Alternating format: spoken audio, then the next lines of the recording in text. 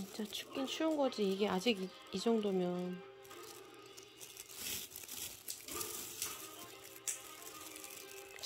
여기는 진짜 여기는 끝났는데. 끝- 끝난 지가 무슨 열흘도 넘었는데 열흘이 뭐야.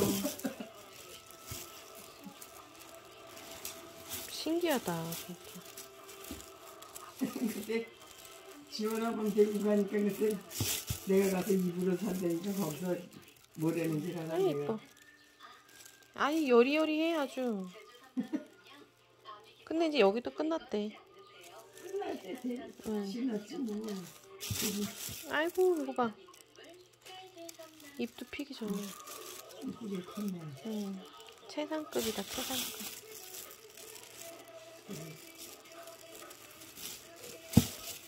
이불을 여름 이불을 가서 달라지니까 그때 5월달에 가서 여름 이불 달라니까 하도